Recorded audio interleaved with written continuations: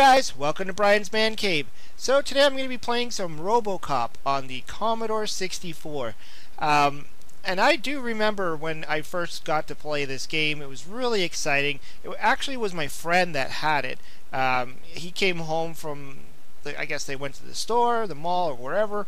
And I remember I was outside on my porch, and he, he came out, he's my next door neighbor, and he's like, I got RoboCop! And I'm like, what? I didn't even know that it even existed on the, you know, on the computer, on the Commodore 64, or anywhere. I mean, I knew there was the arcade version of it, which I really liked, but I didn't know that it was ported onto these, uh, you know, had a home version of it. And so we naturally went and played the heck out of it. Now, this game is very hard, at least to me it is. It's pretty hard, but in fairness, so is the arcade version. I mean, the arcade version was designed to take your quarters, and that's what it did. Um, especially in the later levels where you, got everything shooting at you. Um, so usually when, when they make a home version of it, like on a console or on a computer, you'd expect it to be a little bit easier because, you know, it's not about taking your quarters anymore. But that's not really the case on this one. Um, the other thing I want to say about it is that there is a few parts of this game that I think were kind of broken. Um, I don't know. I, I remember we had to find a trick to try and get around it. Uh, but other than that, I mean, it does have a similarity to the arcade. In fact, I think all of the RoboCop games that went onto the computers and onto the consoles uh, pretty much were similar. Anyways, let's get to playing the game. So, I have it on pause here. I'm going to take it off and pause. There we go. Now, I did feature this uh, game, uh, funny enough, in my uh, favorite songs um, video I did, or, or video game songs, because I thought this has a pretty interesting audio soundtrack. Uh, so let's start playing. As you see, it's kind of got a little bit of a talking piece to it. Um, so there's Robocop down there. He's tiny. Uh, the game, they had to scale it down to, to, work on a Commodore 64. But, I mean, it's the same concept. Uh, you do have a timer up there, so I do need to get my butt moving. Uh, but you'll see these guys kind of like appear and just start shooting at you. Um, I love how they explode when you kill them. it's like, I think they do that in almost every RoboCop game. They just like explode the uh, the, the, key, the characters. But you can see it when they're shooting. They're either shooting at that one diagonal angle or a straight angle. So you can kind of get used to where the bullets are going to go. Um, I'm not doing a very good job there of doing that. But you know, as far as timing this game and learning where they're going to appear and where they're going to shoot, um, you can you can do that, and um, like they're not really random. Uh, actually, at one point, I, I, remember playing this game so much, I pretty much could clear this whole level uh, without even getting hit, because I got used to where everybody was going to be when they were going to shoot. Um, you know, but that was a long time ago. That was when I was a kid. I, I don't remember everything anymore. It's you know, some of it's still there, but I mean, that's that's going to happen to anybody that revisits these games after a very, very long time of playing it. Now, I would like to get some food. I know there's food things will appear at some point. Ah, disintegrated. like I said, this game is not easy. I always like that too when uh, we first heard him say RoboCop. We, we both looked at each other and said, did he say Robocop or Apple Cop? Or Apricot? Or something else. It didn't sound like he said Robocop. Uh, but that's, you know, that's the voice simulation. Uh, we get what we can take in this type of uh, environment on a Commodore 64. There wasn't a whole lot of games that had talking in it. Um, like Impossible Mission had it, and Ghostbusters had it, and um, I, there's not, not a whole lot that I could really think of that had talking. I'm sure there's a, a good list of them, but um, it was always nice to get a game that talked. Although oftentimes when, when the game did talk, you would notice that it would have the game would have to sort of stop. Um, it wouldn't uh, the game wouldn't be playing essentially um, when the, when the talking was happening. So if you uh, check out like Impossible Mission, oh, I'm not, I'm not doing too good here. If you check out Impossible Mission, for instance, he talks in the beginning before you before the game starts, and then uh, when you enter a new level, uh, he might say something. The uh, Elvin, I think his name is, he'll say something before you uh, begin playing.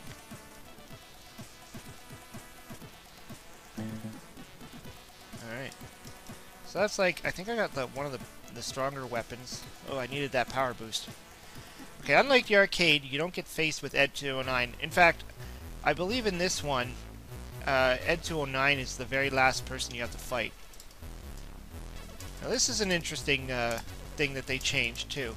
Um, if you've seen the movie RoboCop, which uh, probably a lot of you have, the original, not the not the remake. Uh, I don't want to talk about the remake. but if you've seen the original RoboCop, uh, you'll you'll know this scene very well, and that's where the guy has the girl hostage, essentially with a knife, and they were trying to uh, sexually abuse her.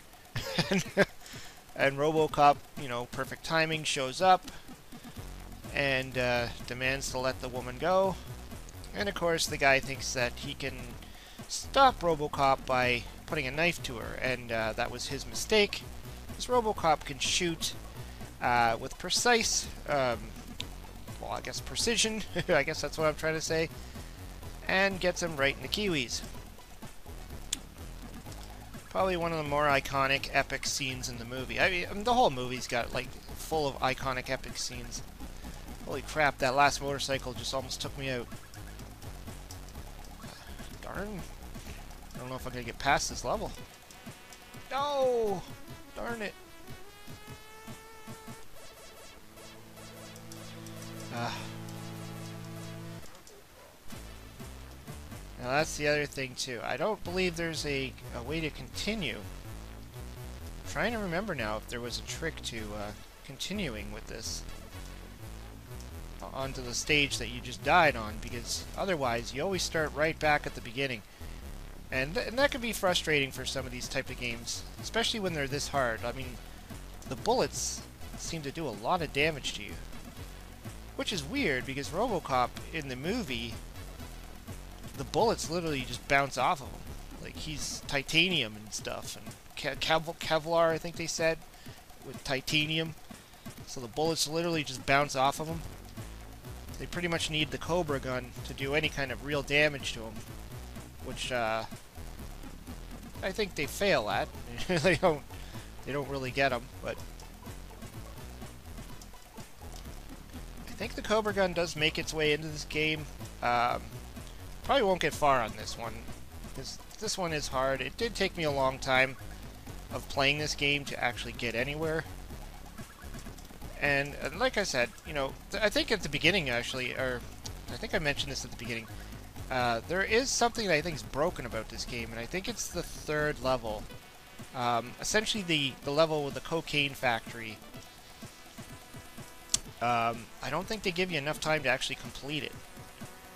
And I remember trying a few times, and uh, when I was a kid, my friend and I, we actually figured out, I don't know if it's a bug or something, but there was a way to kind of jump in front of the wall, a, a wall, and actually go through it. Almost like it was a false wall. I don't know if that's always going to be the case, you know, if it's going to work on this, or if it was just a glitch, or what. That was the only way we could figure out how to beat that, that, um, that level because you literally, even if you went untouched and, and you know, as fast as you possibly can, you'd always run out of time. It looks like I got him. Yeah, that's an interesting one there. You, you have to shoot the guy. Obviously, you, you can shoot the girl, but you don't want to because it takes your life away. And if you shoot her too many times, you uh, lose. Gotta get, gotta get that motorcycle, because that, that thing takes a chunk of life. Like that. Oh, oh no. no. No. Let's give it one more, one more go. Robocop. Now there is some similarities, obviously, to this in the arcade and um, the uh, NES version, actually. You know, similar. There's a lot of similar stuff to the NES version, too. Although in the NES version, um, and I believe also in the arcade too, uh, you, you punch in the beginning. You don't use your gun. Which is weird. Like, he starts off just punching things. And then he gets to a point where he draws the gun. And you're like, why would why would you design it that way?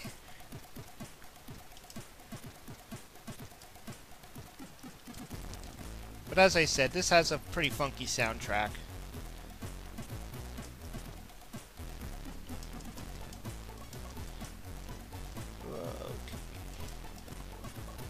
I think it just just just requires a little bit of patience and and knowing which weapons to keep. Uh, bullets. You, you, notice that there's those little boxes that are dropping every once in a while. Those are just bullets, different bullet packages. So you could have like a scatter weapon. I'm gonna die, aren't I? you can have a scatter weapon. Oh, food, food. Don't go anywhere. Uh, I find the scatter weapons okay it just doesn't seem like it's too much different than, you know, as far as power is concerned. Uh, but it is handier for those guys in the windows because you might be able to hit them both. These guys just blow away like splatter, like nothing. See if I can pass that second level. Also, again, in, in the uh, NES version on this, you, you don't have this kind of thing. You have an end boss. Um, I think they were trying to, you know, with the arcade version, it was the targeting practice where you had to, like, hit the, the targets. Uh, and it was more of a bonus thing. Like, this is not a bonus thing. That, that thing, like, if you don't pass that, you lose. Like, it's not about bonus points or anything like that. It's actually, like, you need to pass that. Now that's the weapon I think I need to beat the motorcycles. I think it's like one-shot kills. Yeah, see? You need that weapon to blow the motorcycles up. Or they just trash you. Like, they just run right through you. you see one shot and just boom. They're your biggest threat on this board. Oh no, got the scatter gun. Oh, see, I got two guys at once there. See, it does come in handy sometimes. But I find the uh, the angle that that thing scatters at to be a little bit odd. Um, like I said before, the the shooting in this, it's either that one diagonal or straight forward. Ooh, more motorcycles. I'm just gonna keep firing like crazy. Trying to hit those motorcycles.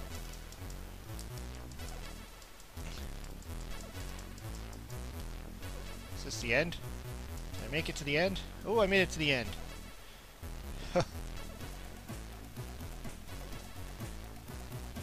now on level 2. Jeez, I thought that was level 2. Okay, so this is level 2 now. So we got to do this matching part. This is tricky.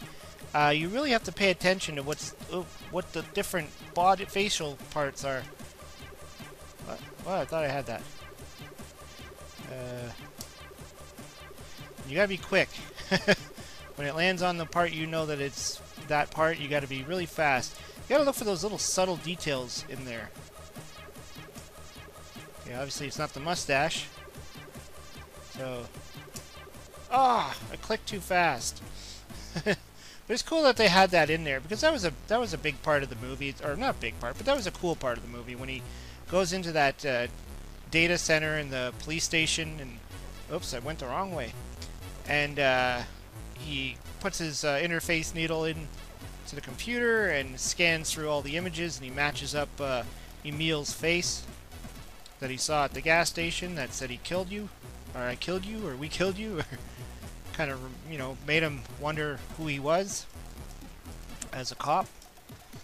But yeah so this level this is the cocaine uh, part where you know after he matches Emil and I guess he figures out where he has to go um, but this is a level I said is really hard, and um, I don't I don't think it's it's it's passable without you know some form of cheating, um, because it really doesn't give you enough time. Like it says two minutes there, but I mean it, you got to be like pixel perfect on these stairs, which I'm, I'm I seem to have a hard time sometimes getting down. Like right now, I'm trying to go down them. Uh, I don't know if I have to push down. Come on. This, oh, there we go. It's like pixel perfect. Ah, oh, jeez, I got annihilated right there. That's nuts. Ah. Ah! okay, we gotta do this again. At least with this, you don't have to pass it. I think it's just a bonus if you do pass it. What are we looking for here? Oh man, this they all look the same to me now. No. There we go. Okay. That's that one big mustachy thing. There. Okay, that gre grinchy look to him. The big fat eyebrows. Ah, oh, I ran out of time. so hard. Ah. The stairs in this are brutal. Because when you know, it's it's kind of like in Castlevania, where going on the stairs is is, is always a hard, you know, problematic. Uh, I find going down them is even worse. Uh, of course, I'm using a gamepad, and that's probably what part of my problem is. It would be better on a joystick, because I really don't remember having this hard of a time with the stairs when I played it uh, with the actual. Well, you know, back then I think I used an Atari joystick when I played this game duck the bullets. But yeah, I, I remember there there was some kind of cheat where I, we were able to like walk through one of those walls. Come on, go down. Go down. You can do it. Go down. Go down. Go down. I can't get down. Ah, oh no. Meanwhile, they're just shooting at me. See if I can shoot that guy down there. Yeah, diagonal is, is always a problem with these uh, game pads. Come on. It's not hard. It's a staircase. you can do it. See, I'm already, like, you know, for sure to run out of time now. I'm fooling around on these stairs. It's not down. I'm pushing down. Come on. Robocop. Do what you're told. New Prime Directive, walk downstairs. So annoying. I can't get it. There we go. Oh, oh, slow, and he's going so slow too. There. Uh. Oh, that was painful. Only, what, five more flights of stairs to go? stairs in video games. Like, I don't understand. Why couldn't these just, you know, make these easier. You know, you stand there, you just push down, you go down the dang stairs. Look, pushing down pushing. There we go. It's like that one pixel you gotta hit. Ah, jeez. Oh, annihilated. Oh. Ah. So frustrating. But yeah, I mean, I, don't think I'm gonna get much further than that. Um, but yeah, like I was saying, you know, this game is fun. It's hard. It's I don't know why what it is. I think it's just the bullets uh, just do too much damage to you for for someone who's RoboCop, uh, who's got like this you know armor. Um, and of course, like the timer now, I could have cheated, and I could have, because uh, I'm using an emulator for this, I could, uh, at the very beginning, it does ask you if you want unlimited lives and unlimited power or time and all that, so I could do that. Um, but that, that's really not really playing the game. I mean, that's just, it's kind of like if you had a Nintendo and you use the Game Genie. You're, you're just cheating. But anyways, yeah, it's a cool game. I always liked the RoboCop franchise. I always gave it a shot. I gave the Nintendo version a shot. This one, I think I completed it once in my entire life when I was a kid. Because I remember getting to the end and seeing uh, the, the Ed 209 come out. Eh, but it was very hard. It was. It just took a lot of playing and a lot of getting used to the, you know, where everything is going to come from and how to get through that one level. And uh, yeah, it's a it's a hard game. Anyways, let me know what you think of RoboCop for the Commodore 64. And uh, what what other you know ports have you played it on? Did you play the Nintendo? Did you like the arcade or any other system that this game has been on? Anyways, hope you liked the video. Leave some comments down below. Hope you subscribe. Talk to you later.